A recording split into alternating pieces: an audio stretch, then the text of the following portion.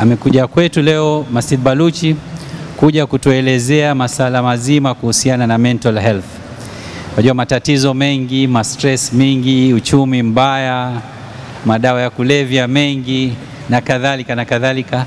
Leo mahali petu tuko naye Dr. Rajab atatuelezea kwa umakinifu na ukamilifu inshallah. Shukran, karibu sana daktari. Jazakallah. Assalamu alaikum warahmatullahi wabarakatuh. Kwa majina mimi naitwa Rajab Sadam. Mimi ni daktari mtaalamu wa magonjwa ya afya ya akili, kwa kimombo tunajulikana kama psychiatrist, na leo hii kupitia mmojawapo wa vikundi vyetu vya madaktari camp, tukiongeza na ndugu yangu Daktari Ashraf, tumeafikiwa kuwa hapa na tunawashukuru wazee wangu, ndugu zangu, vijana wenzetu kwa kuchukua fursa hii angalau tuweze kusemezana mawo, uh, mawili matatu kuhusiana na janga hili la magonjwa ya afya ya akili. Hili ni swala ambalo kwa siku za usoni hatuwezi kulifungia macho tena, manake jinsi dunia inavyoendelea ndivyo janga hili linaendelea kukita mizizi.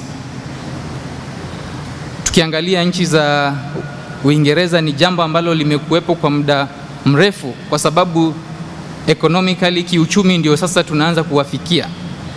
Vile uchumi unaendelea kupanuka, ndivyo stress zinaendelea kukita mizizi na ndivyo watu wanaendelea kuathirika na ni kutokana na hizi athari za kimaisha ndio unapata kibahati mbaya mmoja ama mwingine anaweza patikana na ugonjwa wa afya ya akili.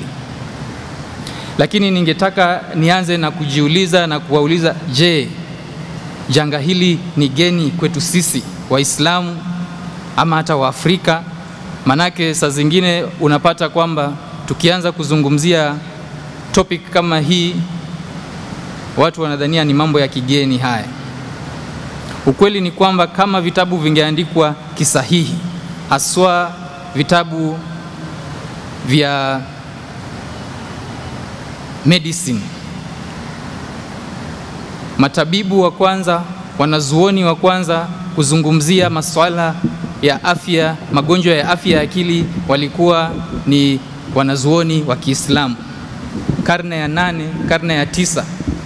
Lakini shuleni utapata tunafunzwa wakati ni wazungu sasa wameichukua 19th century, karne ya 19 hapo. Hapo ndio wanaanza kusema sasa magonjwa haya yamejulikana. Kuna kitabu kimeandikwa na mwanazuoni uh, anaitwa Ibn namsahau jina. Ibn Sina, wanazuoni wakamuita Avicenna. Wana ama Waingereza. Na kunayo nyingine inaitwa Masal albdan wal Anfus, imeandikwa na mwanazuoni anajiita, wallahi jina limenipotea, ntakumbuka.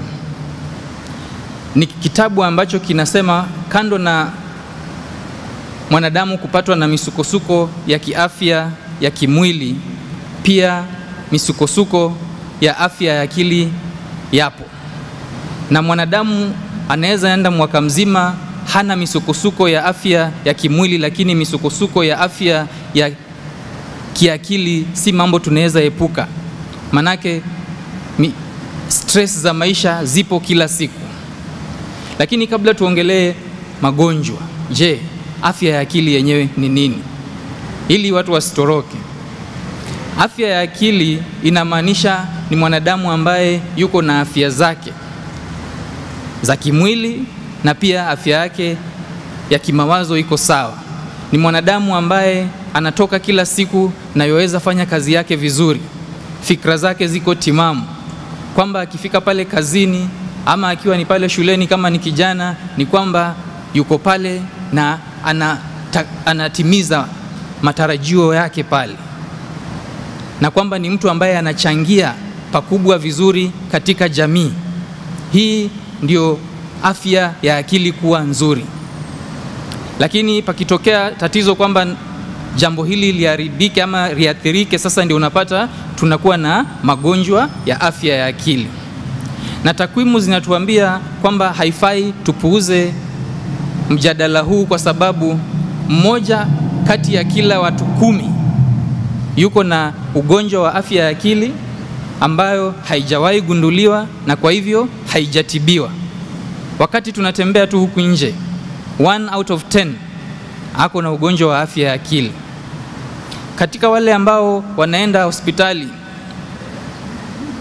za kawaida outpatient, vile tunasema, umeenda kumwona daktari wa kawaida ama GP, utapata asilimia 25 wako na magonjwa ya afya ya akili ambayo hayajagunduliwa na kwa hivyo hayajatibiwa.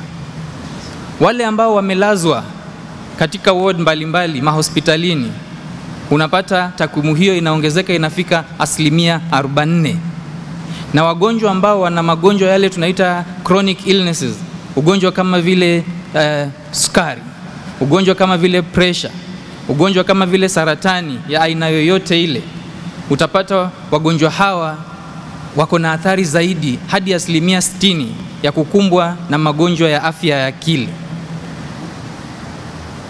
Na mwanadamu yoyote katika pilka pilika zetu za kila siku, sisi sote tuna athari hadi asilimia ishirini kwamba tunawezwa patwa na ugonjwa wa afya ya akili.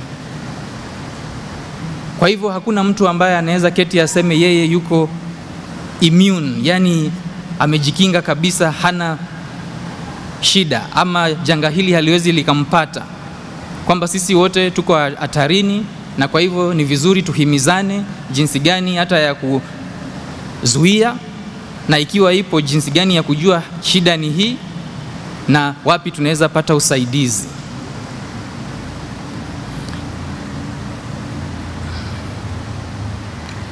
Magonjwa mengi ya afya ya akili hayangoji mtu awe mtu mzima ndio mwanzo yaanze. Mengi yanaanza kwa vijana wetu wadogo. Dalili za kwanza huwa zimeonekana umri ukiwa mdogo sana, miaka kumi na nne, kumi na tatu hadi kumi na sita hivi. Utaona huyu ni kijana ambaye ameanza kubadilika mienendo. Kama ni pale shuleni, matatizo yamekuwa mengi, kila wakati unaitwa shuleni. Kama ni pale nyumbani, hapakaliki tena, mtaani fujo. Lakini sasa wazazi wengi tunachukulia kijana kama huyu kuwa ni mtundu. Saa zingine hatutaki kufikiria kwamba hizi zinaweza kuwa actually ni warning signs kwamba ugonjwa umeanza kugonga mlango, kubisha mlango hivi, na huwa inangoja hadi wakati amefika umri wa miaka kumi na nane hivi ndio utapata sasa episodi ya kwanza ile itahitaji usaidizi, huwa sana sana inatokea. Lakini utapata hapa katikati, wakati ambapo hakuna mtu aligundua ama hakupata usaidizi, tayari imeanza kunyosha mizizi yake kule ndani.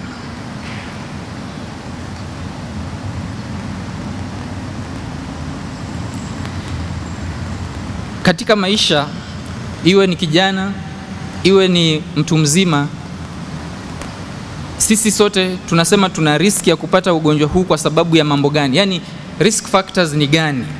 Nini inaweza fanya mimi na wewe saizi tuwe tuko sawa alhamdulillah, lakini baada ya muda tujipate tuko wagonjwa? Ya kwanza ni ile ya genetics ama ile ambayo iko kwa kizazi. Kuna familia utapata babu alikuwa na ugonjwa, baba yuko na ugonjwa, vijana kadhaa pale wana ugonjwa. Hii ni ile imepita katika kizazi ya urithi vile. Kunayo zingine ambazo zinaletwa na environment, mazingara yale ambayo tuko nayo. Ikiwa umelelewa kwa mazingara ambayo yana matatizo mengi, kama ni pale nyumbani, fujo baina ya wazazi kila wakati, unapata inaweza leta. Kama pale kazini, ni ile siku hizi tunaita toxic work environment. Watu wengi sana wamepatwa na magonjwa ya afya ya akili, manake pale kazini hapakaliki. Una bosi ambaye ni mzito sana kufanya kazi naye, inaleta mitihani yake. Pale nyumbani, uhusiano wako na watu wako wa nyumbani uko vipi? Mahusiano kama hayo pia saa zingine yakiwa yanazorota, huwa yanaweza changia kwa magonjwa haya kuchibuka. Utumiaji wa madawa ya kulevya na hii ni janga ambalo huwa linaweza kuwa ndio la kwanza ama lifuate. Kuna watu ambao wanakuwa wagonjwa na kwa sababu ya ugonjwa wanakuwa ni wepesi wa kukimbilia uraibu, na sana sana wanakimbilia uraibu kujaribu kujituliza, ile tunasema uh, clinical setting tunasema wanajaribu kujitibu haswa, lakini sasa wameenda kwa dawa ambayo sio. Watu wengi katika mtaa watajua huyu sasa amekuwa teja, huyu amekuwa mtumizi wa madawa ya kulevya, kumbe alikuwa mgonjwa, hakuna mtu aligundua, lakini sasa akajaribu kutafuta suluhu kwa kutumia mihadarati. Na kuna wengine ambao watajaribu mihadarati, labda walishawishiwa na rafiki, kwa bahati mbaya ikawa sasa ndio chanzo cha ugonjwa wake.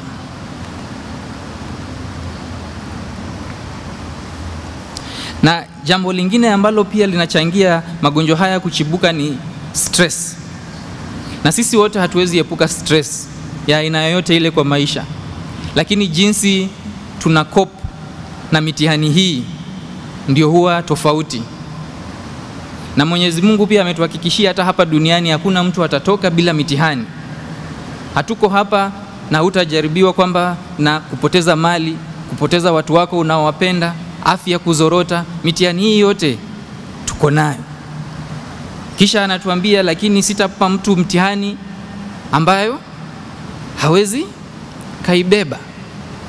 Na ikiwa kwa bahati mbaya unakuwa mgonjwa, pia tumehimizwa tafuteni tiba, si mambo ya kuketi pale nyumbani, fikra za kipotovu za kitambo, ho, hii haihitaji dawa. Wengine wameenda hata kwa waganga, ushirikina umeingilia pale badala ya kwenda hospitalini.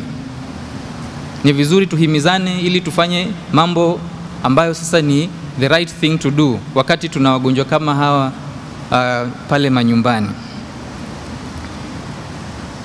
Kuna jambo tunaita adverse childhood experiences.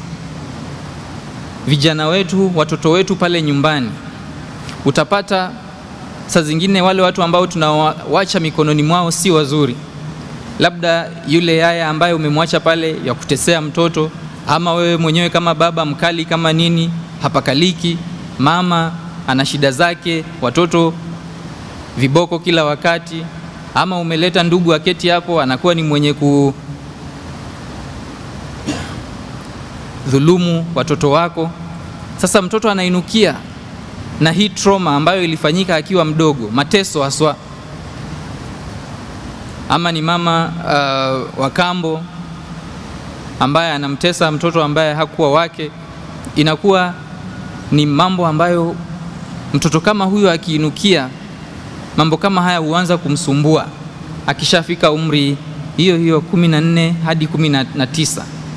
Kwa hivyo ni vizuri pale nyumbani tuwe ni wenye ku provide environment ambayo ni nzuri kwa watoto, manake ile Uh, mbegu ambayo tutapanda pale chini ndiyo ita determine mambo mengi siku za usoni katika maisha ya kijana kama huyo.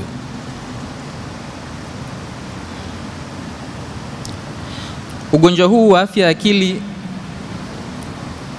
unaenda kuwa janga ambalo sasa imefika mahali hata zile um, bodies kama World Health Organization zimegundua kwamba lazima ipewe kipao kama vile magonjwa mengine ambayo ni ya, ya kudumu chronic diseases. Kama vile huwa kuna kipaumbele wakati tunazungumzia magonjwa ya, ya kifua kikuu, kipaumbele wakati tunazungumzia ugonjwa wa kisukari, ugonjwa wa roho ama cardiovascular illnesses. Sasa pia magonjwa ya afya ya akili yanafaa kupata fursa hiyo, na ndio maana tuko hapa kuhimizana kwamba si kitu ambacho inafaa tupuuze. Siku za usoni, hata tuseme saizi na siku zinazoendelea, utapata watu wengi pale kazini, working hours nyingi zinapotea kwa sababu ya magonjwa ya afya ya akili kuliko magonjwa ya kimwili.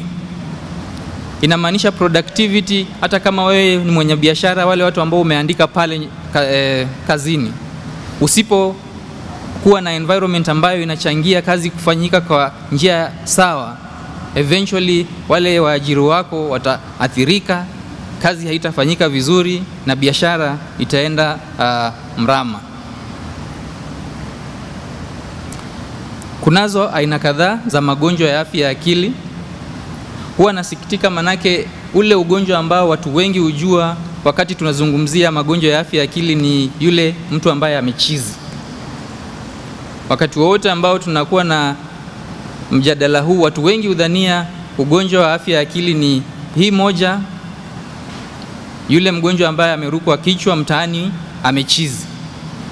Kweli ni mmojawapo, lakini leo ningependa kuambia hiyo hata si ndio ugonjwa ambayo inaathiri watu wengi sana duniani.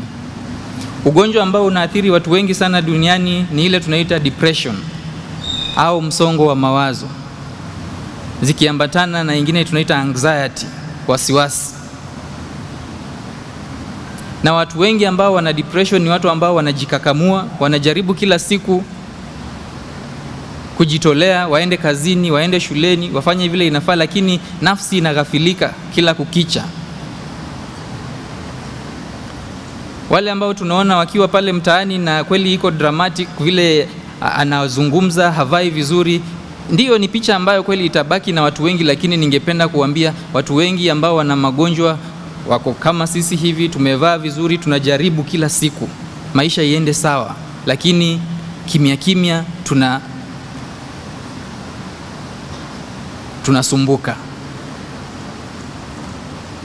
Kuna ugonjwa ambao tunaita post traumatic stress. Huu ni ugonjwa ambao utapata mtu baada ya kupatikana na janga fulani kama vile accident, ama ndugu zetu ambao wanafanya kazi na uh, vitengo vya kisalama kama vile jeshi ama polisi wakikumbana na majambazi. Utapata ndugu anarudi nyumbani baada ya kutoka mission, amekuwa mkali, mood zake hazipo tena usiku akilala yoamka yapiga nduru nightmares, vile unashangaa kulitokea nini? Kumbe ni zile experiences za huko. Ndugu zetu ambao wako Gaza saizi vile wanapitia, utaweza jaribu kufikiria kizazi ambacho kinainukia hapo, ile trauma ambayo hao watoto wanapitia, post traumatic stress, uraibu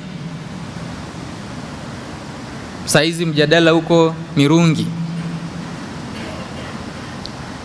Sisi sote inafaa tuweke mikono yetu pamoja kupigana na janga la uraibu.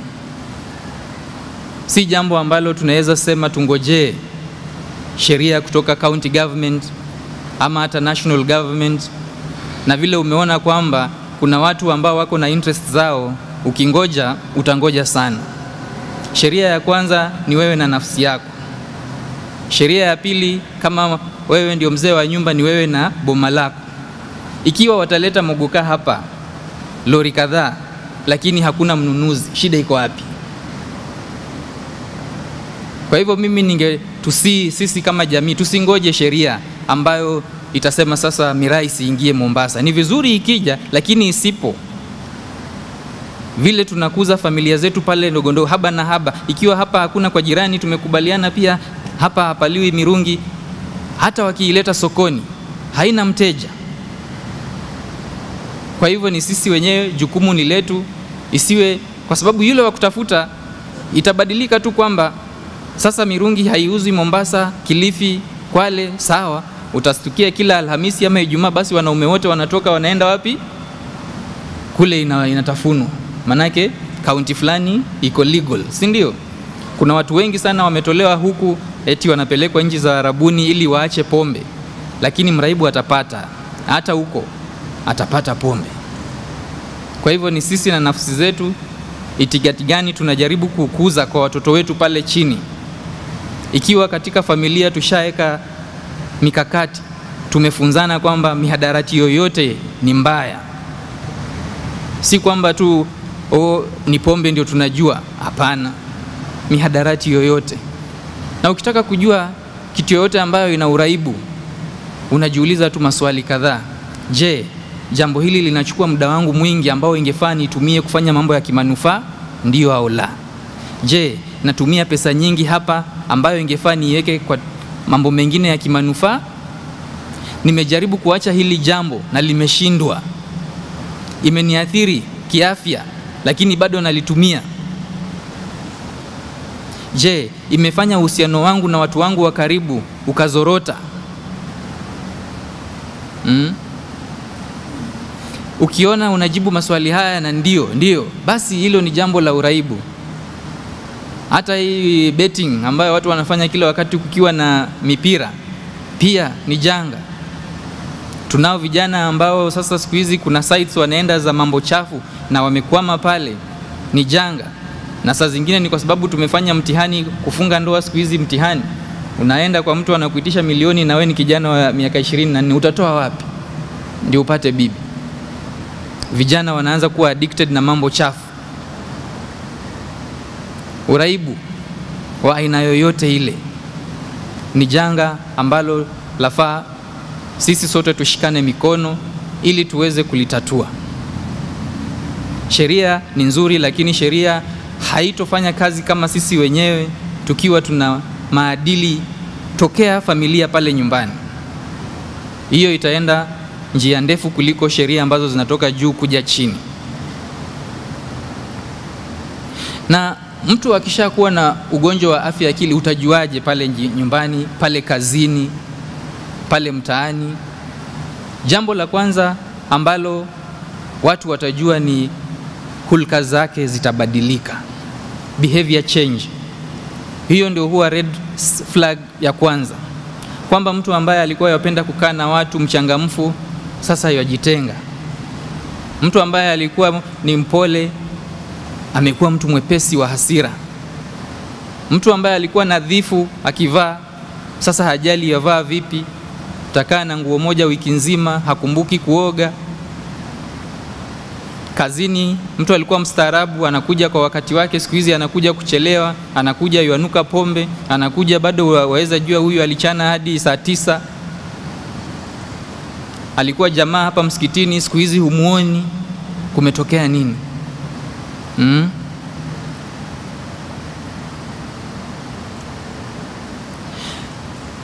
Nitapenda kuguzia depression, kama nimesema ndio ugonjwa ambao ni the most common na symptoms zake, ili pale nyumbani, haswa depression huwa imeaffect wanawake kuliko wanaume, na sana sana ni wanaume wamepeleka hiyo depression kwa wanawake nyumbani, wanaitwa character developers. Kweli si kweli? So ja, njia ya kwanza kupunguza depression pale nyumbani ni wanaume kuwa wastaarabu pale nyumbani. Utajuaje mtu anaanza kuugua ugonjwa wa depression? Huzuni wa kupindukia. Unapata kwamba siku nyingi za wiki mtu hana furaha, vile vitu ama mambo ambayo alikuwa anafurahia kufanya siku hizi imekuwa mtihani, hataki. Kama ilikuwa anakuja kucheza ball, siku hizi haji. Shule hataki kuenda, hata kazi hataki kuenda. Shida iko wapi? Usingizi unakuwa na matatizo ima yalala lakini bado ataamka anahisi amechoka, au yatagaragara pale kitandani lakini usingizi hakuna. Appetite inakuwa na shida. Kuna watu wakiwa na stress watakula zaidi, na kuna wale wakati wana stress appetite inapotea. Sasa huyu mtu ambaye weight yake inabadilika bila yeye kupenda, si kwamba ati yuko diet, lakini yaongeza kilo ama yapunguza kilo, shida iko wapi? Memory inaanza kuwa na shida, anakuwa mwepesi wa kusahau. Aweka funguo hapa, hakumbuki. Kuna document hii ilifaa ijazwe hivi pale kazini, kama ni banka pale amefanya makosa, jioni kuna short mm. Akiangalia siku za usoni anahisi kwamba hakuna hope kabisa, yani ana feel hopeless kabisa. Hizi ni symptoms za depression. Kama ni mwanaume pale nyumbani, hata ile hamu ya kutaka kuingiliana na mke wake hana kabisa, nguvu zimepungua. Shida iko wapi? Kuna watu ikiwasukuma hivi, wakishaona labda hata sioni umuhimu wa hii maisha, basi wanaanza hata kuwa na fikra, je, nina umuhimu gani wa kuwa hai? na tusipokuwa makini pale mtaani, ndio utaamka siku moja, oh, mwenzetu alijiua, alijitia kitanzi, alikunywa sumu. Nadhani jana ama juzi, nadhani kuna senior official amejipiga risasi wa NIS. Shida iko wapi? Mm. kabla tufikie pale, itakuwa ni vizuri tuwe ni wenye kusaidiana pale mtaani. Tukiwa tunaona mambo haya, tusingoje, tusiambie mtu vumilia. Hapana, kunazo suluhisho. Itakuwa ni vizuri ikiwa watu wataenda kupata usaidizi. Huu ugonjwa ambao watu wanaita kuchizi pale mtaani huwa nini? Manake sana sana wale watu tunapata clinic huwa ni walichelewa kuja, manake sana sana mtaani tumekubali kusema hii ni kijicho ama ni jini, wanachelewa kuja kupata matibabu. Ni mtu ambaye tabia zinabadilika, usiku hana usingizi, yajisemesha peke yake. Unaweza pata saa zingine anadai anaona mambo ambayo nyinyi wengine hamuoni. Hii yote anakuwa ni mtu ambaye hajali unadhifu wake. Tukiona dalili kama hizo, si vibaya kwenda rukia. Actually ni part ya treatment, tunaita spiritual treatment, lakini tunaweza fanya zote, kwamba tusomewe na pia twende tutafute matibabu ili zisaidiane.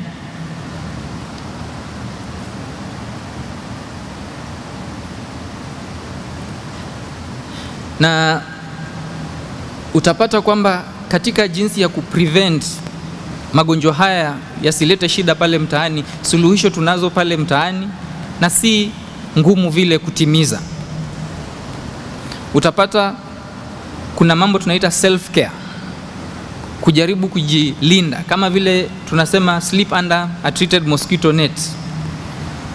Upande wetu wa magonjwa ya afya ya akili tunasema practice self care. Physical self care. Je, wakumbuka kulala masaa masaba au nane kwa, kwa, kwa usiku ama umeenda kuchana mirungi hadi saa tisa za usiku?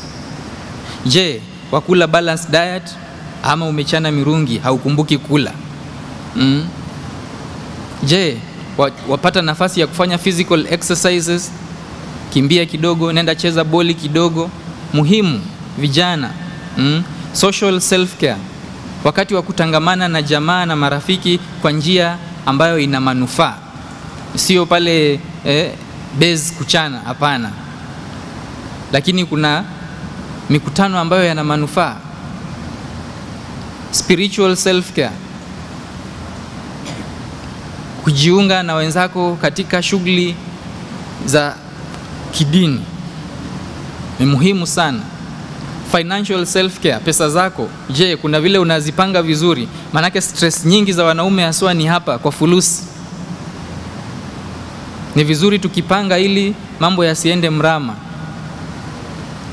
Ni mambo madogo madogo kama hayo, lakini ikiwa tunapanga, unapata yanatulinda hizi stress zisizidi, ama zikija haziwi ngumu sana. Na ikiwa kwa bahati mbaya imefika mahali basi mgonjwa yupo, je, njia ni ipi? Madaktari wapo, dawa zipo, na ikiwa tunapata shida mapema, utapata tiba yake huwa ni ile tunaita therapy, kuzungumziwa tu.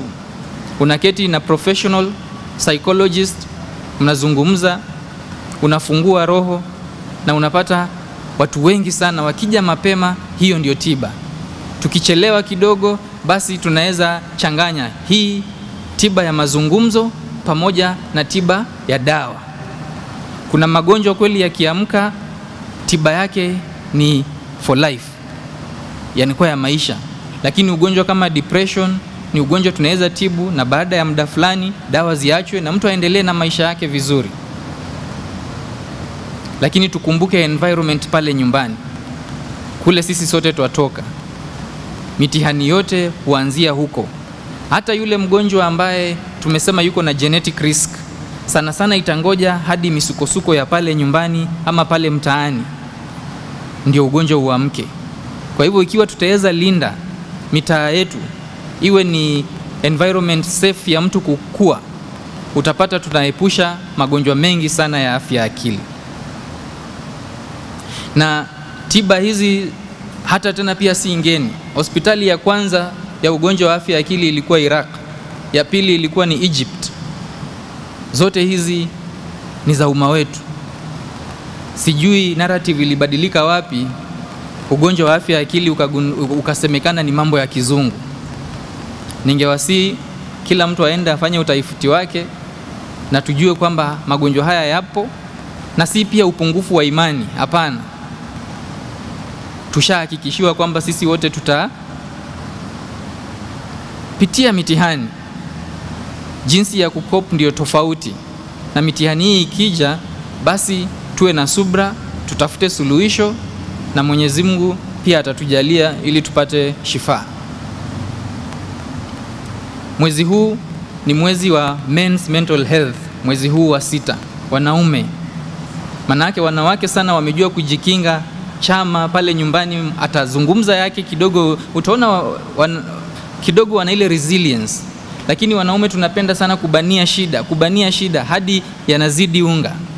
So mwezi huu tukiuanza hivi tarehe tare ni tarehe tano, sisi sote tufanye jitihada huenda kuhimiza na wengine kule mitaani kwamba kama wanaume ni jinsi gani tunaweza shikana mikono kuboresha afya zetu za afya ya akili, afya za vijana pale nyumbani, tujiepushe na mihadarati, tukianza na hii mogoka, sigara. Hakuna vile kijana wako ataacha uraibu ikiwa wewe tangu ainukie umemtuma dukani kununua. Hakuna. Ukimtuma inamaanisha tayari umesha recruit mmoja wako, ni just a matter of time, na pia yeye tafika mahali sasa ananunua mbili yake na yako. Kwa hivyo suluhisho la mihadarati ni sisi kuwa mfano mwema. Vijana wataiga kuliko yale tunawaambia. Akiona baba hatumii, hatotumia. Akiona mjomba hatumii, hatotumia. Akiona rafiki hatumii, hatotumia. Lakini ikiwa kila mtu pale nyumbani, mama yatumia, baba yatumia, nyanya yatumia, hakuna. Tunapoteza muda kujaribu kuitisha sheria kutoka kule juu. Natumai ujumbe unafika. wa hadha, assalamu alaikum warahmatullahi wabarakatu. Kama kuna swali moja au mbili tunaweza jaribu kujibu. Kuprogress. Ehe, ikiwa ikiwa haijatibiwa inaweza progress, lakini tukiipata mapema, ile tunaita early detection, early treatment inasaidia. Lakini kweli ikitibiwa au isipotibiwa vizuri, kuna watu unawapa dawa wakisikia nafuu, kabla muda hujafika wanawacha, unapata ita, itaendelea.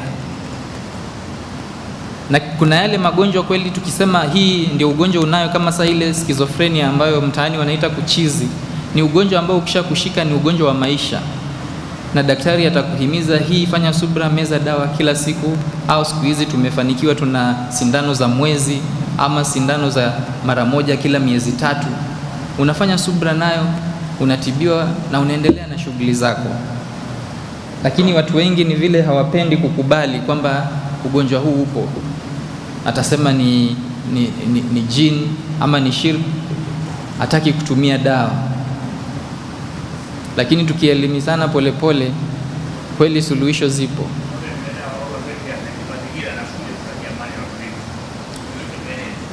Mazingira ni muhimu.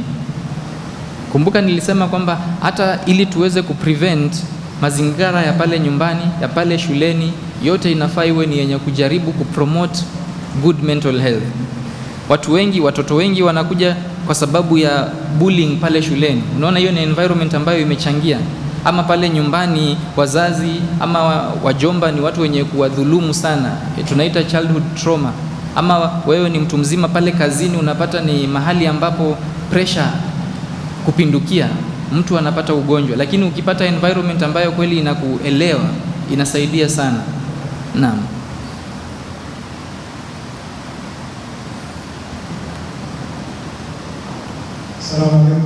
Wa alaikum wa rahmatullah. Naam. Kwanza unaja 10% binadamu huwa na mental problem. Mhm. Lakini si sawa. Sasa wa psychiatrist watumia mbinu gani mnajua huyu akili, yaani health ya akili, percentage wise. Unajua huyu kwa mfano kuangalia 100% ya kile kisicho 20% 50% huwa wanatumia vigezo gani kwa kuangalia. Hilo swali la kwanza. Swali la pili Swali la pili katika matibabu ya madaktari na psychiatrist, sana sana huwa wanatumia madawa wanatumia madawa ambayo huwa baadaye huwa wanatumia masaidi effects sana. Sasa tunamuomba mchango gani dini zinatumika katika kuadhibu na magonjwa ya akili, yaani what's wrong that the spiritual you know, teachings play in treating psychological problems. Thank you. Um, swala la kwanza, vipi tunaweza kugrade ya kiwango cha mtu ameathirika kiasi gani? Jibu ni hilo hilo behavior change, na kama ningefafanua zaidi ni jinsi gani basi imefanya zile shughuli zake za kila siku imekuwa ni impossible. How disabling hii ugonjwa imemfanya. Kama ni mtu pale kazini, imefika wapi hadi kazi zake haziendi sawa? Kama ni mwanafunzi shule, imeathiri vipi masomo yake? Utapata kuna watu hata ile nguvu ya kuamka asubuhi hana, anataka yobaki tu kwa kitanda. Nguvu ya kufanya chochote, hata kuingia bafu kuoga hana. Ukikaa naye kuzungumza, unapata ni hana ule e, msururu wa mawazo unatatizika, yokatakata ama sasa huyu ambaye hata sasa hajielewi yuko wapi, toka atoka nyumbani na anaenda akienda hadi anapotea. Unaona, huyu ni mtu ambaye imeathiri kabisa hata usalama wake. Kuna watu ambao wakifika hivyo kwa sababu ya zile sauti wanasikia ama vitu wanaona zinawashawishi hata oh, huyu jirani yangu ni mbaya, anachukua panga pale, amekuwa ni hatari sasa hata kwa jirani ama hata kwake mwenyewe. Hivyo ndio jinsi una gauge, na sana sana hata utaki useme ati ifike percentage kubwa ndio uanze kutibu. Kumbuka tumesema zile signs za kwanza tu pale ni muhimu kuanzia pale, ili hata tujaribu kuprevent kutumia dawa. Ikiwa tutatumia tu hizi psychological ama and spiritual solutions, unapata watu wengi, ikiwa tutawapata na mapema, watapata tiba ya haraka ambayo itakuwa imejiepusha na dawa. Na nikija kwa swala la pili, dawa zote kweli zina side effect. Hata hii paracetamol ambayo unatumia ku, ku, kupoza kichwa, lakini wakati wowote unaona tunaweka mgonjwa kwa dawa, inamaanisha the benefits outweigh the risks, kwamba penye imefika ni heri utumie hii dawa kuliko ukiwa bila. Na side effects ambazo huwa tunakumbana uh, nazo sana, utapata ni kuna watu ambao wataongeza kilo zaidi vile tungependa. Kuna wengine ambao utaona labda misuli inaanza kutetemeka yenyewe, so una, unampa mtu dawa ya kukounter effect ka hiyo, lakini kuna wengi ambao wanapata manufaa ya hizi dawa bila kukumbana na hizi side effects.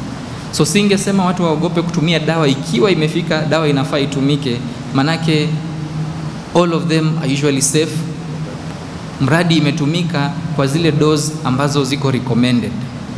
Lakini dawa pekee si suluhisho. Vile tumesema pale, social self care ama social healing, lazima kama tatizo ilikuwa pale nyumbani, hiyo tatizo itatuliwa. Kama ni baina ya mke na mume, waitwe na daktari, na pia saa zingine tunasema haya, nenda basi, hata kama ni kwa sheikh ama ustadh, kidogo wapate ile nasaha ya kidini, jinsi gani hii ndoa inaweza kuwa sawa. Ikiwa ni mambo na waswasi ama huzuni, kufanya dhikr, kusoma Qur'an inafanya kuliwaza. Hata saa zingine mtu hana nguvu ya kusoma, basi uketi tu usikize, inafanya kuliwaza nafsi pakubwa sana. Katika kutumia udi, ile manukato tunaita aromatherapy, wakati unasoma Qur'an ama unaisikiza na pale ume, umefukiza vizuri, inafanya pakubwa. Cupping eh, kwa Kiswahili inaitwaje? Hijama inasaidia sana. So vile tu ni mambo mengi ambayo yanaleta magonjwa ya akili. Pia tiba si moja, kuna tiba ya daktari, kuna tiba ya spiritual na kuna social healing as well. Zote lazima zije pamoja. Kuna mzee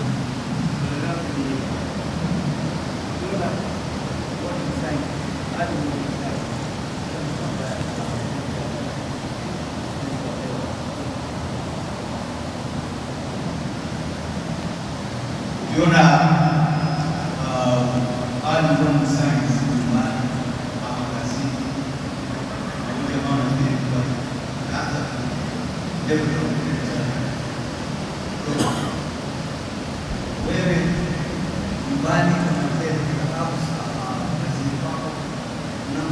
gani kwanza kabla ya kupeleka ah, kwa yaani akafikiria kwa labda yeye ni mlazimu ama ni chizi jaribu kufundisha pale pale nyumbani kwanza ama kazini kabla hajafikiria kwa yeye pengine ni chizi. Kweli, asante. Um, huwa tunasema hizi suluhisho kweli zianzie pale nyumbani, karibu na mtu ndio vizuri zaidi.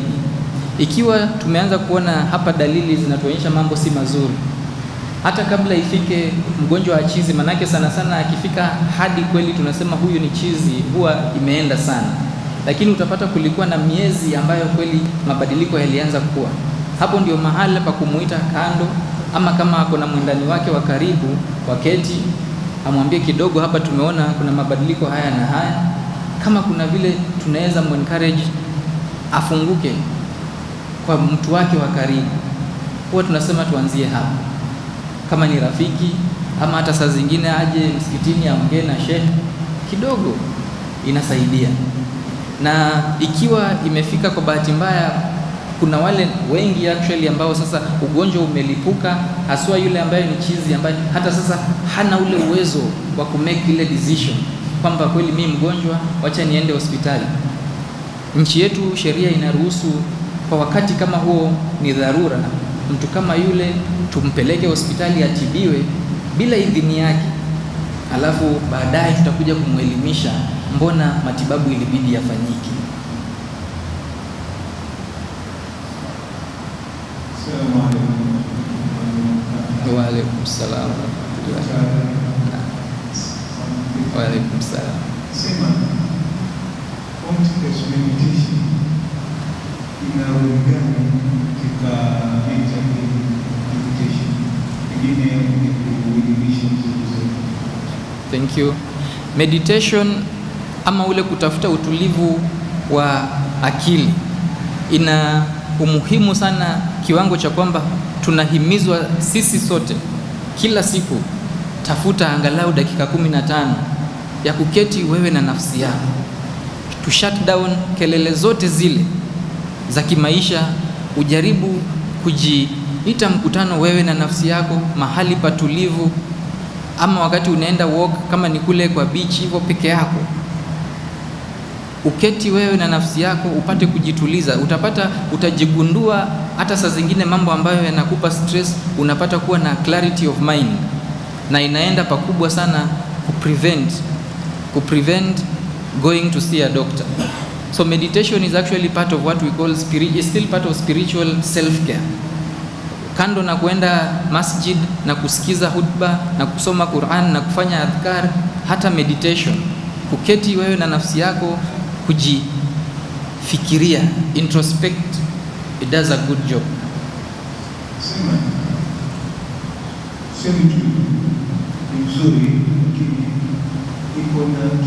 Na cha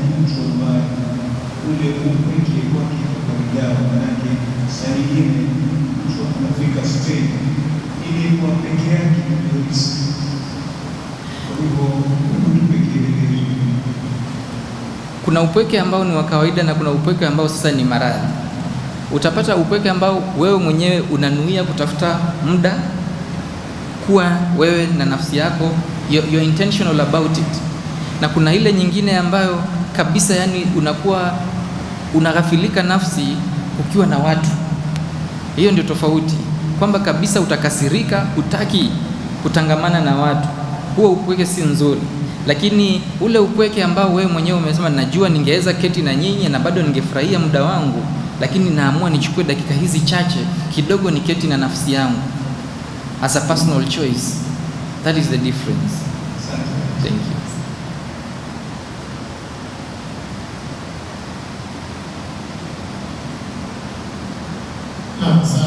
Wa alaikum salam wa rahmatullah. Namtaka nina kitu kimoja naomba kuuliza. Wajua katika jamii yetu tumezoea tukiona watu machizi mitaani, yaani tunaamini kwamba hakuna mdawa wala mtu. So wote watu tunalifanyia haya matibabu yalifanywa hospitali. Je, zile charges zake tunasema ndio zatakiwa, lakini kahofia labda ni pesa nyingi sana, zile charges labda ni kiwango kipi, lakini na mtu awe na urahisi kwamba pesa pesa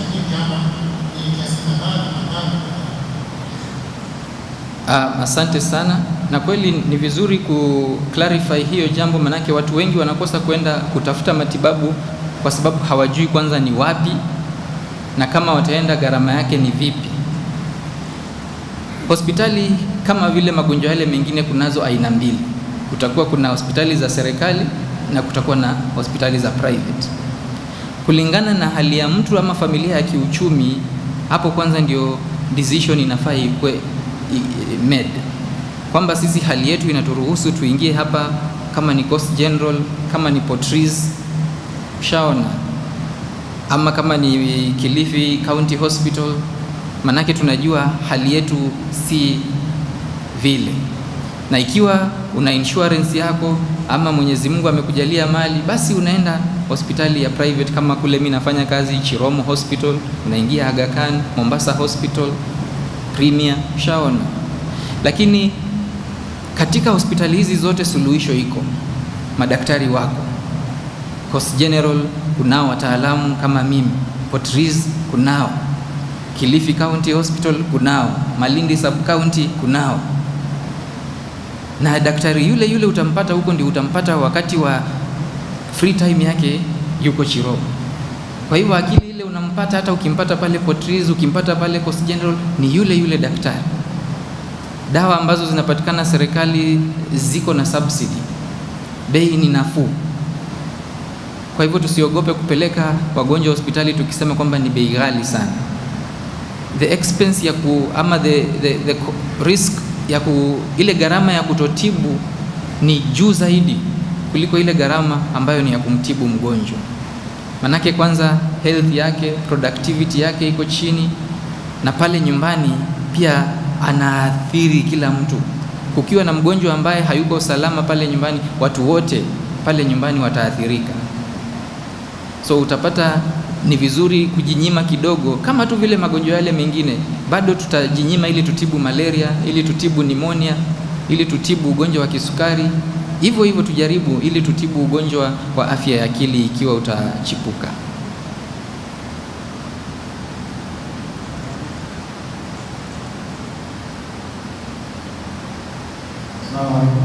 Wa alaikum salam wa rahmatullah. Question has uh, two phases. Sorry? My question has two phases. Yes.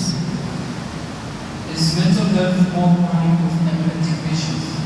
Is mental health more? Is it more chro- chronic with epileptic patients? Okay. And uh, is the depression level same with normal people? And does epilepsy have an effect on the level of mental health? Is, is depression the second? Those are three questions. The second one? So they're all about epileptic person. Yes. The first one is, is it more connected, uh, correct? Is it more chronic with epileptic patient? hmm The second part is, is it the same level of depression with a normal person? The third part is, does epilepsy itself has an effect on the level of depression? Thank you. So we have to start by asking ourselves what is epilepsy?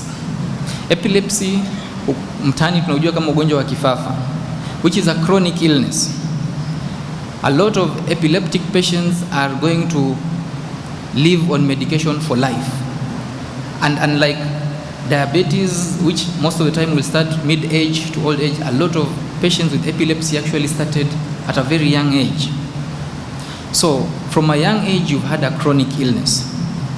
Remember in the introduction, we talked about 60% of patients with chronic illnesses have mental illness compared to the general population. So, a patient with epilepsy will have higher risk for depression, 60% more risk than the general population. Epilepsy in itself, every time there's an episode, it affects the brain neurochemicals, it affects the brain structure and function. So it even reduces um, the cognitive function of this individual. A lot of patients with epilepsy, especially poorly controlled, is that eventually their level of cognition deteriorates. If it is academics, they go slow. If it is performance at work, it goes lower. Some of them even now eventually become what we call um, intellectually disabled. Now, this person means he's already going to be at a back foot in society compared to the peers.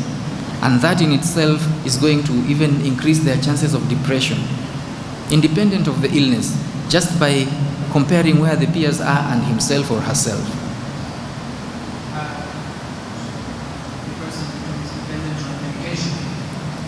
Medication, medication for both epilepsy and even for treatment of um, chronic psychiatric illness are not addictive. if the person is convinced that they need this medicine, they go back to medication. If that person is convinced of that situation, Mhm. how would we supposed to fix it? The problem should not have arisen in the first place from the very first time before we initiated treatment. Because if we have diagnosed that this is depression, then even before we start medication, we need to be educating how long are we treating. So if I have started by preparing the patient and the family that this is depression and uh, textbook is that minimum treatment time is six months, then after that we evaluate. Do we need to continue a bit or actually it is good enough? If we did prepare well enough, then that fear of someone uh, wondering whether if they leave medication then they relapse and remember, therapy also works side by side. So every time they're on medication through the six months, they're also going through therapy. And they should be able to, in their own lives, experience the changes or the benefits as time goes by, so that they can know by there I can get to a point not to be dependent on this medication. And if it is an illness that we've said is chronic, then from the very first time I'm diagnosing schizophrenia, I'm also preparing.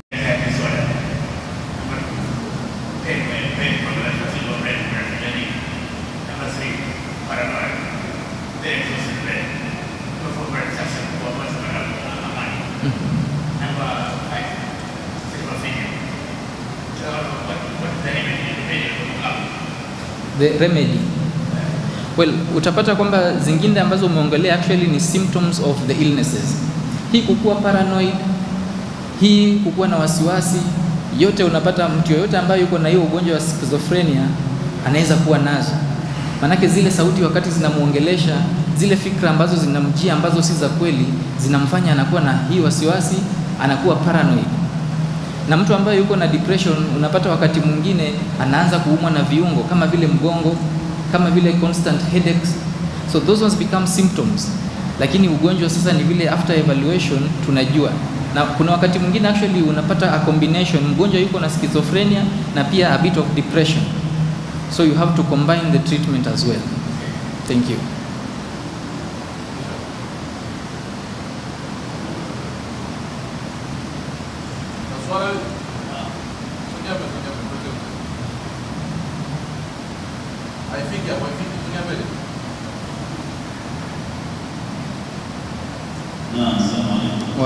alaikum salam wa rahmatullah Na swali langu lilikuwa kuhusu utumiaji wa hizi mobile. Maanake nimesema daktari kusisika zina effect somehow. Ukiwa unazitumia sana zinakuingiza na wasiwasi.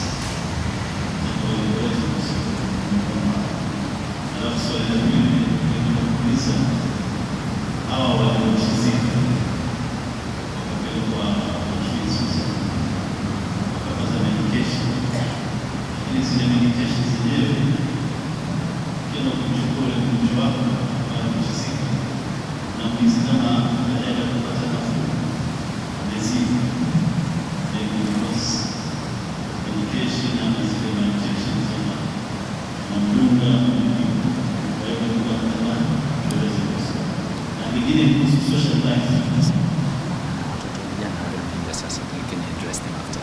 kuhusu social life daktari na wenye kuna wengine wa- wa- wakisema kuwa na watu ni kama vile more relaxed kuliko kuwa peke yao. Tuelezee kuhusu watu. Asante. Shukran. Nitaanza na la mwisho. Social life ni important. Huwa tunahimiza sisi wanadamu ni viumbe vya kijamii, hatujaumbwa kuwa kuketi kwa upweke sana. Kwa hivyo ni vizuri tuwe ni wenye kutafuta and be very intentional, kuwa na watu ambao tuko nao na ujamaa ambao unafaa wa kimanufaa. Nakumbuka pale nilisema part of self care ni ile tunaita social self care. Watafuta nafasi kuketi na marafiki, kuketi na familia, kuketi na jamaa msikitini. Yote hii inachangia yale mazungumzo, ile kutangamana, energy vibes that are good zina you know you share the good moments and even sometimes in the bad moments and it makes the situation lighter. Swala la pili, kweli kuna madawa ambayo yana sedate, wacha niseme yanaduaza. Wakati mgonjwa ambaye haswa amechizi akiwa ndio bado yuko very ill, utapata ni mgonjwa ambaye hatulii, yaongea, usingizi hakuna, kama ni pale nyumbani yoharibu vitu. Siku zile za mwanzo kuna dawa tunatumia ambazo kweli nia ni ya kumtuliza, lakini akishatulia, dawa nyingi ambazo tunatumia wakati yuko stable hazifai kuwa na hizo effects. Kulikuwa na generation ya madawa ambazo zilikuwa zinaduaza, lakini vile sayansi iliendelea, dawa zipo siku hizi ambazo mtu yaweza meza asubuhi, aingie kazini, afanye shughuli zake kama tu vile mtu anameza dawa za pressure. Hiyo ndio huwa tofauti. So saa zingine labda ni familia imeenda kuchukua mtu mapema kabla hajapoa, kwa hivyo wanampata katika ile hali. Manake hata ndio ugonjwa utulie, huwa unahitaji baina ya wiki mbili to one month tangu episode itokee, si kama vile fiva nikikupa dawa saizi jioni imetulia, inahitaji subra. Okay. Swala la kwanza lilikuwa kuhusu ni nasahau, mobile addiction is an addiction to anything na watu wengi sisi watu wazima utapata hata asubuhi kitu cha kwanza unafanya baada ya kuamka ni nini? Hata kabla utoe salamu, hata labda kabla uombe dua, usha check simu. Kweli si kweli? Hii screen the light reward system ni ile ile. Yule mtu ambaye yatumia sigara anapata furaha fulani, pia watu wengi ni hivyo hivyo. So lazima tuwe ni watu wenye kujitrain time away from gadgets, na kwa watoto wetu haswa wale wadogo ambao hata wajaenda shule, unapata tumefanya mobile ama TV ndio kama sasa walezi. Unampa mtoto mobile, unampa mtoto TV pale, wewe fanya shughuli zako. Wanakuja kuwa na ugonjwa tunaita um, uh, pseudo autism, autism ambayo si ya ukweli. Anaongea lugha ambayo ni ya mabonzo, maanake hiyo ndio vitu ana watch kila wakati. Tabia zake zinaanza kuwa ni kama za cartoon zile lakini ukimweka hivi sasa na watoto wenzake acheze nao, hajui kwa sababu ya gadgets. Kwa hivyo lazima tujitahidi time away, lakini sasa hutaambia mtoto usitumie gadget na mkiwa pale nyumbani, hata wakati wa kula wewe uko nayo, mke yunayo, eh, kila mtu alafu wanashangaa. Kumbuka nilisema mtoto ataiga kile kitu sisi watu wazima tunafanya. Kwa hivyo sisi wenyewe pia tuwe intentional, ni wakati fulani tunaweka simu kando ili tuweze kutangamana kusemeshana pale nyumbani, ama hata siku hizi hata marafiki mnakutana, lakini bado kila mtu yuko kwa simu. So physically you are there but you are now talking to someone in Saudi Arabia. What is the point? Um, kuna vijana wameingia ambao nadhani ilikuwa ni muhimu tuweze kuhimizana na kuwakumbusha na mapema hivi kwamba hawa ndio vizazi vya kesho na janga ambalo saa hizi tuwaona kwa vijana sana ni hii ya mihadarati. Na tukianza uh, darasa hili tulisema magonjwa mengi ya afya ya akili yanaanza kwa vijana umri wa kumi na nne hadi kumi na nane. Kwa hivyo umri huu ambao wako ndio kabisa inafaa tuwe makini na wenyewe kwa wenyewe, wawe ile tunaita brothers keepers. Ukiona mwenzako labda ameanza kuexperiment pale hivyo na bangi, maanake huwa inaanza hivyo experimenting, shika hii kidogo, onja, alafu ina nakita mizizi. Tuwe ni wenye kupeana nasaha nzuri vile tunafunzwa nyumbani, kama tuwafunzwa nyumbani. Shukran. Waalaikum salam. Kila dawa utaambiwa iko na side effect na side effect hazifanani. Kuna dawa zingine unaambiwa inaongeza figo, kuna dawa zingine unaambiwa inachoma maini, kuna dawa zingine. So lazima kuna dawa ambazo tunapaswa kusoma tukazitumia kama hizi painkillers na dawa zingine zikiform kama mfano mafua kama pengine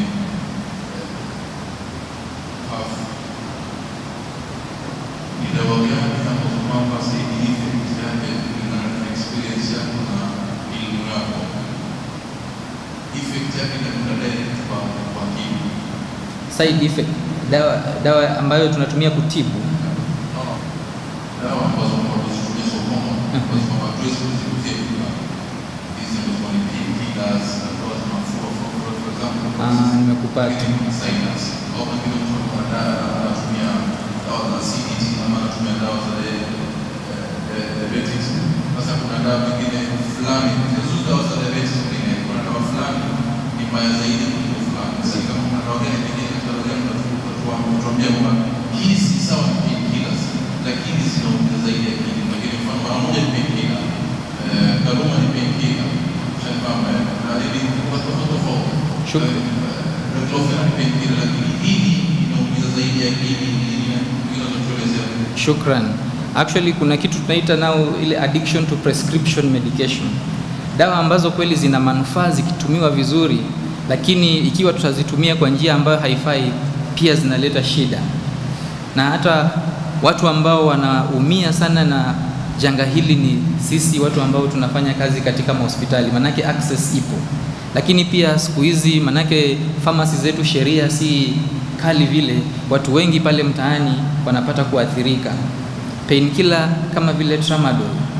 Kweli ni nzuri, lakini ni rahisi sana kupata uraibu kwake. Kuna dawa za, ku, za, za kusaidia na usingizi Still notes. na kama vile diazepam ni dawa ambazo kweli zinasaidia, lakini usipopewa na mtaalamu na kuambia tumia kwa duration hii pekee kisha wacha, unapata ni rahisi kujipata umeikimbilia hata wakati shida imeshaisha. Sasa unaitumia kwa sababu mwili waitisha.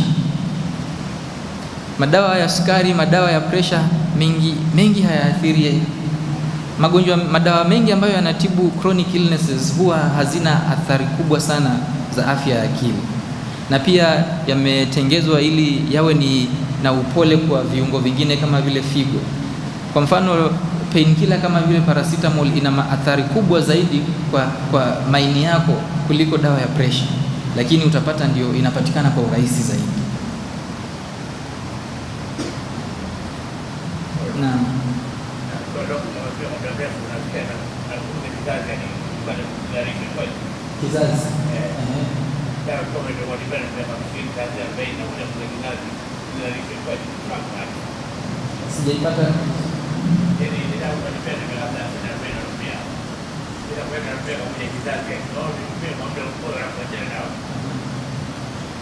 Ukitumia mihadarati dawa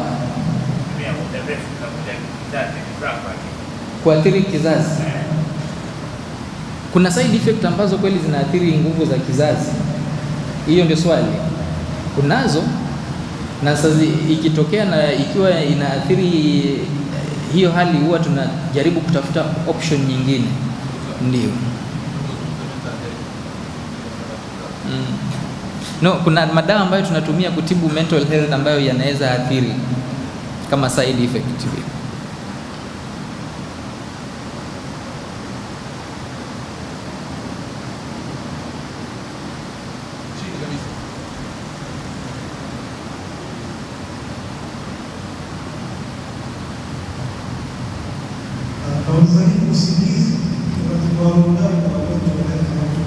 usingizi Usingizi. Uh Aha. Sasa kuna wengine wanakuambia mchana na kwa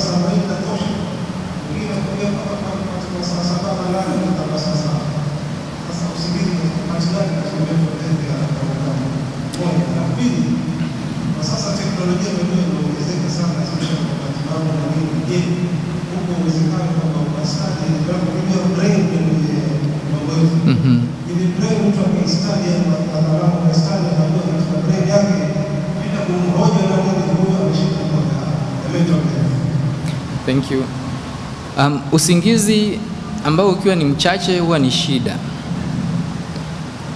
Kama vile nilisema, yafaa tulale masaa sita ikienda sana chini, sita, 6 to 8 hours. So yeyote ambaye hapiti, afikishi hapo, it's not healthy sleep. Hata kama you die, it's not healthy. Kwamba wasukuma gurudumu la maisha hivyo haimaanishi yafaa. na saa zingine ni tujiulize shida iko wapi, mbona nakosa usingizi? Um, technology kweli iko inatusaidia, lakini utapata mental illnesses amo. Kumbuka kuna the brain and the mind. The brain utascan, you will see the physical brain, but in mental illness a lot of the times the mind is what is affected, ambayo scan haitaonyesha, lakini kuna changes zinaweza kuwa zimefanyika kwa hiyo brain ambazo zitasema kweli hapa kuna shida. Kwa mfano mgonjwa ambaye yuko na dementia, ugonjwa ambao unakuja wa kusahau, kuna vile brain unaona imeshrink, ambayo for the age si size, unajua hapa kuna shida.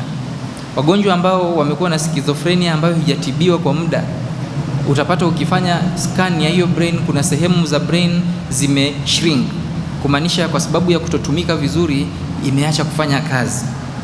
So lakini hata kabla mgonjwa kaa huyu afike hiyo hali, tabia zitakuwa zilionekana. Ndio maana the easiest way, na kusema kweli, hata magonjwa yetu mengi hatupeleki lab. The easiest way to tell mental illness is through behavior change and mood changes. Mm. Overfeeding, it can be a symptom. Yes. Wa alaikum salam. Kitambo siku hizi shida za zimepungua. Kitambo shida mingi, mtoto kufa, magonjwa. Mbona kulingana na kitabu vijana wa siku hizi wako na depression sana kuliko? Shukran. Uh, shida zimepungua kweli, zimeongezeka.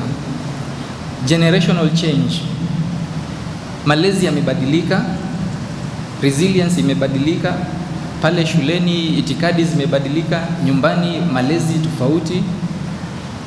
Si kwamba vijana wengi wamekuwa na depression, ni kwamba siku hizi wengi wanazungumzia kuliko siku za, za kitambo. Awareness is more, information is more, na pia kwa sababu ya vikao kama hivi unyanyapaa or stigma inaenda chini, lakini si ati kwamba magonjwa ya afya ya akili ndio mwanzo tunayasikia. Ikiwa ulikuwa mapema, nilisema tangu karne ya tisa magonjwa haya yamezungumziwa. Ni vile tu kwa sababu ya stigma watu wengi wame hash hash the conversation but they have been there, they have been there. Sawa sawa, shukran. Nini hiyo? Violence. Violence is also a symptom of schizophrenia. Hata ukiwa na depression unaweza jipata ni mtu mwepesi wa, wa hasira. Kwa kumalizia, cha muhimu ni kwamba this conversation needs to start.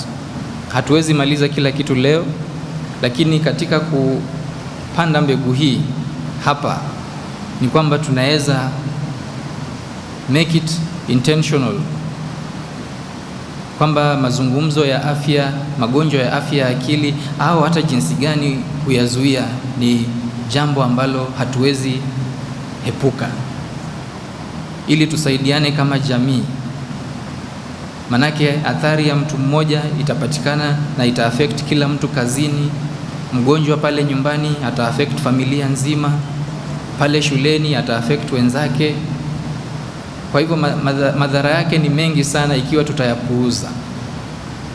Kwa hivyo ombi langu ni kwamba tutoe unyanyapaa ikija kwa mazungumzo ya magonjwa ya afya ya akili, tuwe wa, wa, wa, waangalifu ili tukiona jambo ambalo na hata si lazima wewe kama pale mtaani ufanye diagnosis, na si lazima daktari wa kwanza awe ni specialist kama mimi.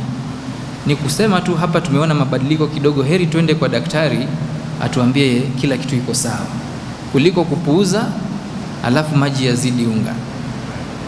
Shukran. Shukran sana daktari. Uh, just one point. Kuna daktari, kuna mgonjwa mmoja alienda kwa daktari psychiatrist kama daktari. Kaenda mwenyewe kazi yake maskini mzito mzito kubeba ile nini. Tena daktari bana hivi hivi hivi hivi. Akamwambia, bana, wewe uko na depression na nini, nawahitajia madawa haya. Akamwandikia, akamwambia, na wahitaji upumzike kiasi cha wiki moja. Shamaliza, akaenda kwa receptionist kule, kaambiwa haya, toa pesa fulani. Ah, Akasema, sasa hii pesa nilochajiwa mimi hapa itabidi badala ya kupumzika wiki moja nifanye kazi mara mbili ya vile kazi ninayoifanya. On a lighter note, on a higher note, I hope ni kuwa mashallah. Shukran daktor, jazakallah khair, Mungu akujaze kheri. Very educative, very enlightening, na utajua kwa hii darsa ilikuwa na mafunzo mengi kulingana na yale maswali vile yalivyoulizwa, mashallah. Uh, very intelligent, very wise questions zilizoulizwa na alhamdulillah tumepata faida sana. Shukran, Mungu akujazi kheri, akubarikie katika kazi yako, akubarikie katika uh, familia yako na akujalie hii iwe ndio sababu ya wewe upate Jannat al-Firdaus, na Mungu atujazi sote iwe ni katika mizan hasanatuna jamian. Shukran, wassalamu alaikum warahmatullahi wabarakatuh. To get more videos of Abu Shuraim, don't forget to subscribe, like and share. May Allah guide and bless the person who shares the videos.